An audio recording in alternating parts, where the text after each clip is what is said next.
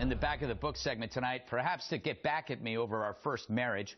Scarlett Johansson joins up with Planned Parenthood. With the midterm elections just ahead, Planned Parenthood has rolled out a brand new t-shirt designed by ScarJo herself, apparently to help fire up the organization's supporters. The shirt slams the Supreme Court's recent Hobby Lobby decision on birth control coverage and Republicans who supported it. On the front, it reads, Hey, politicians, the 1950s called. And on the back, it says, they want their sexism back. Wow, that's not a tired joke structure at all. I think the 1990s want that back. And of course, the shirt sleeve is signed Love Scarlett Johansson. She wrote the exact same thing on my prom tuxedo. Joining me now from Washington, Penny Young Nance, the president of Concerned Women for America. So, Penny, do you think this t shirt's a big deal? And if so, why? You know, first off, I want to know why is it when you're a celebrity, your opinion counts on everything that's public policy, whether it's, uh, you know, foreign diplomacy or the, the environment, but now apparently abortion's included in that list.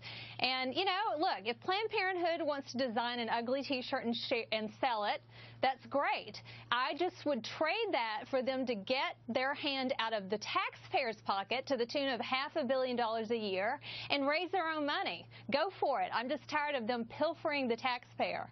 All right. Well, I mean, the funny, I find this interesting just because female celebrities think the Hobby Lobby somehow deprives mm. them of birth control. Isn't that right. the, the funny part? Well, because they're confused between you can't have it and I'm not paying for it. Right. And the other issue is, you know, a third of the plaintiffs that filed on the Hobby Lobby case for women, a third of businesses in this country are run by women. Women of faith have strong opinions on this issue too.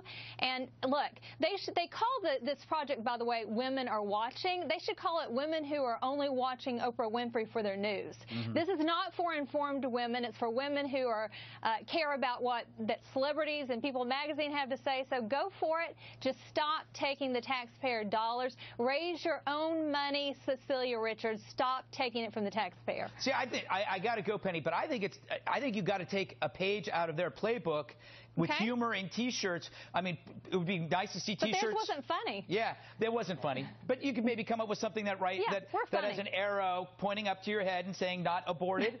That would be a great T-shirt. Okay. I believe. Okay. But that uh, if you do that, I get 10 percent. I take that under advisement. I'd love for you to design the next CWA T-shirt. All right. You're if, on. If I have some thank free you. time over the weekend. Penny, right. thank you so much. Coming up next, Thanks. how Angelina Jolie and Brad Pitt finally made my dreams come true.